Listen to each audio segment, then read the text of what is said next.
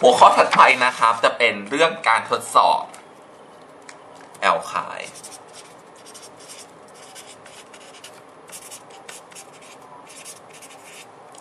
นะครับการทดสอบแอลไคน์นะครับ อย่างแรกคือเราต้องรู้จากสมบัติของแอลไคน์ก่อนนะครับ สมบัติของแอลไคน์นะครับ อย่างแรกคือแอลไคน์เนี่ยมันไม่ละลายน้ำนะครับ นะครับไม่ละลายน้ำนะครับ แต่มันจะละลายในตัวทำละลายที่ไม่มีขั้ว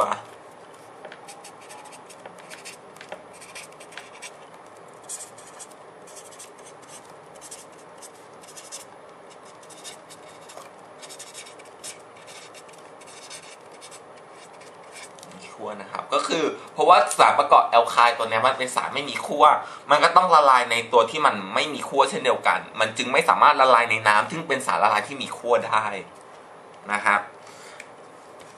ข้อที่สองนะครับ ตัวแอลไคน์เนี่ยมันสามารถเกิดปฏิกิริยากับโบรมีนได้นะครับเกิดปฏิกิริยากับโบรมีนในคาร์บอนเตตราคลอไรด์ได้ นะครับ ตัวนี้เป็นสารละลายนะครับ เกิดการฟอกจางสี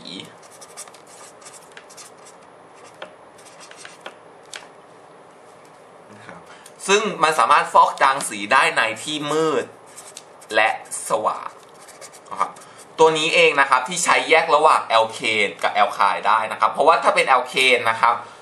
มันจะฟอกจางสีเฉพาะในที่สว่างเท่านั้น เพราะว่าที่สว่างเนี่ยมันมีแสงแสงสามารถไปทำให้เกิด homolytic cleavage ได้ ทำให้โบรมีนมันแตกตัว แล้วเกิดปฏิกิริยาผ่าน radical ในแอลเคนได้เกิดเป็นสารประกอบที่เป็น alkyl halide ได้นะครับ ถ้าเป็นตัวของแอลไคน์ตัวนี้นะครับ มันมีพันธะสามอยู่พันธะสามเนี่ยสามารถรับตัวโบรไมด์เข้าไปได้เลยเต็มๆเลยนะครับทำให้มันสามารถเกิดปฏิกิริยาทั้งในที่มืดและในที่สว่างได้ และที่สำคัญคือมันไม่เกิดแก๊สด้วย แก๊สที่ว่าก็คือไม่เกิดแก๊ส ฮโดรเจนโบไมด์นะครับ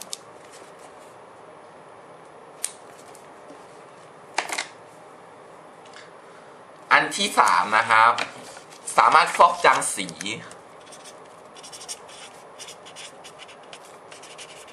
ด่างทับทิมได้โพแทสเซียมเปอร์แมงกานีสนะครับเพราะว่าอะไรเพราะว่าตัว alkyne เนี่ยมันมีพันธะสามอยู่พันธะสามเนี่ยสามารถเกิดปฏิกิริยาออกซิเดชันกับตัว alkyne ได้นะครับ อันที่สี่นะครับที่บอกไปแล้วย้ำตอนสุดท้ายก็คือถ้าเป็น terminal alkyne เนี่ยนะครับถ้าเป็นตัว terminal alkyne นั้นจะทำปฏิกิริยาทำปฏิกิริยากับไอออนเงินนะครับ และทองแดงได้นะครับซึ่งสิ่งที่ได้ออกมานะครับมันคือตะกอนสีขาว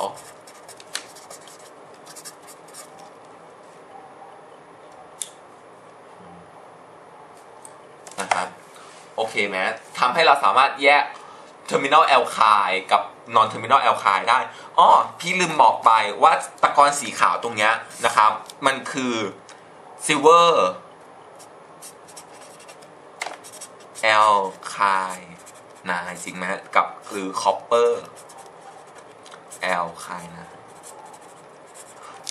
สารสองตัวนี้ต้องระวังนิดนึงนะครับ ถ้าทำการทดลองในห้องทดลองจริงๆเนี่ยต้องระวัง เพราะว่าสารตัวนี้ถ้าทิ้งไว้ให้แห้งนั้น มันสามารถระเบิดขึ้นมาได้นะครับ ต้องระวัง แต่มันไม่ออกข้อสอบหรอกแต่เป็นเคล็ดลับนิดนึงว่าถ้าสมมุติว่าห้องแลบน้องมีให้ทำการทดลองเนี้ยน้องอย่าทิ้งให้ไว้ให้มันแห้งละกันนะครับ เพราะว่าแห้งปุ๊บเมื่อไหร่มันสามารถเกิดปฏิกิริยา แล้วปฏิกิริยานั้นมันรุนแรงมากทำให้เกิดระเบิดขึ้นมาได้ จะเป็นอันตรายกับน้องๆนะฮะ ครับ ก็จบเรื่องการทดสอบแล้วทวนกันอีกรอบหนึ่งชัดๆช้าๆนะครับ อย่างแรกคือ การทดสอบ alkyne เนี่ย alkyne มันเป็นสาร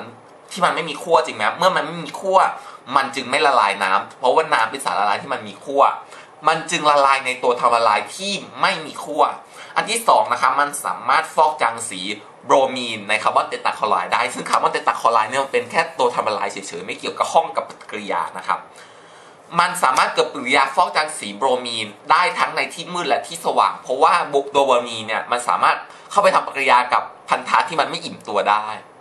นะครับและที่สำคัญคือเมื่อมันไปทำปฏิกิริยาอย่างนั้นปุ๊บมันจะไม่เกิดแก๊สไฮโดรเจนโบรไมด์เกิดขึ้นนะครับซึ่งถ้าเป็น alkane นะมันจะเกิดแก๊สไฮโดรเจนโบรไมด์ซึ่งสามารถทดสอบได้โดยใช้กระดาษอะไรนะ กระดาษลิตมัสเปลี่ยนสีอะไรเป็นสีอะไร สีน้ำเงินเปลี่ยนเป็นสีแดงนั่นเองนะครับ อันที่3คือมันสามารถฟอกจางสีด่างทับทิมได้ เพราะว่าด่างทับทิมเนี่ยมันสามารถไปเกิดปฏิกิริยาออกซิเดชันกับพันธะไม่อิ่มตัวได้นะครับอันที่4นะครับคือ terminal alkyne เนี่ยสามารถทำปฏิกิริยากับตัว silver และ copper ได้เกิดเป็นตะกอนสีขาว ซึ่งตะกอนสีขาวนี่อันตรายมากนะฮะก็จบเรื่อง alkyne โดยสมบูรณ์เรียบร้อยแล้วนะครับ